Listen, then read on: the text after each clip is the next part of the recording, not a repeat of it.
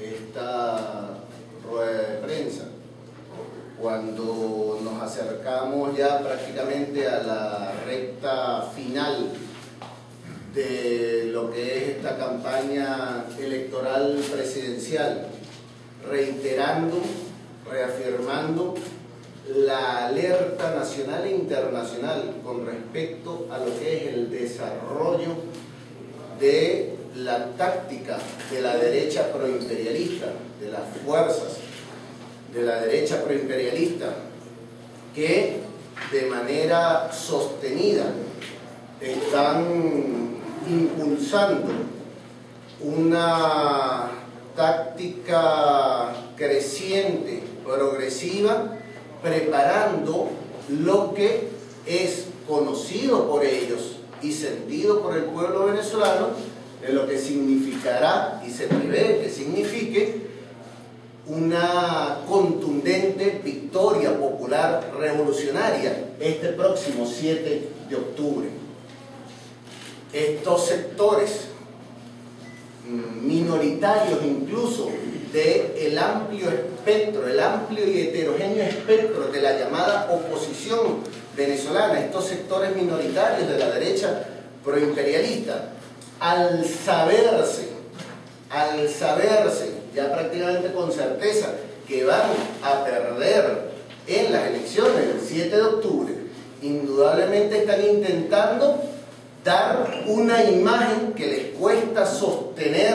en la, en, la cara y se les nota que les cuesta sostenerle en la cara una imagen de que supuestamente vienen avanzando, vienen fortaleciendo, ya han cruzado las líneas de aceptación y de, y de, y de voluntad popular con respecto al 7 de octubre, simultáneamente siguen con ataques al árbitro electoral, al Consejo Nacional Electoral, con la idea definida de el 7 de octubre en la noche, poder decir entonces que todas estas denuncias que han venido haciendo a lo largo de estos meses justifican que el árbitro electoral, el Consejo Nacional Electoral, no emite realmente la voluntad expresada en las urnas ese 7 de octubre. Por eso es importante para el Partido Comunista de Venezuela mantener y seguir haciendo esta alerta nacional e internacional, porque efectivamente hay que darle respuesta en todos los niveles y en todos los ámbitos a esta táctica y poderla desenmascarar. Por eso es tan importante para nosotros, el Partido Comunista, expresar y, y decir con claridad qué es lo que se está jugando y cuáles son los intereses y las intenciones que se están moviendo detrás de cada paso, de cada acción y de cada declaración que emite el candidato de la burguesía, el candidato del imperialismo y por supuesto cada uno de los representantes de la derecha proimperialista. Por eso es que el intento, por poner un, un par de ejemplos, el intento de hacer posicionar que el CNE está discutiendo temas como el de la gorrita, que el CNE no ha tenido ningún tipo de resolución como, como directiva electoral con respecto a ese tipo de elementos y pretenden hacer creer que hay disposiciones que se ejercen por parte del Consejo Nacional Electoral para limitar las posibilidades de campaña de el candidato de la derecha y de, los sectores que lo respaldan. Cuando las decisiones que ha venido emitiendo el Consejo Nacional Electoral se pueden verificar, procuran sobre un sector y sobre otro, sobre un comando de campaña y sobre otro, procuran que se cumpla la normativa establecida legalmente en nuestro país para el desarrollo de la campaña. Otro elemento que han pretendido posicionar todavía en torno al acuerdo que se suscribió por ambos comandos,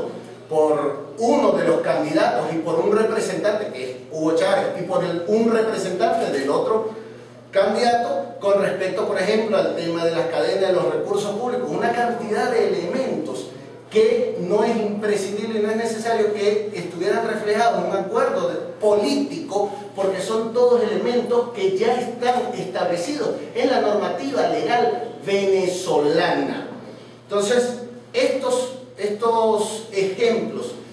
mm, queremos ponerlos sobre el tapete para, para hacer ver que efectivamente lo que se está procurando por parte de estos sectores justamente crear el ambiente, crear la matriz de opinión con miras a la derrota que sufrirán el 7 de octubre. Derrota política, derrota electoral, derrota ideológica y derrota indudablemente de masas.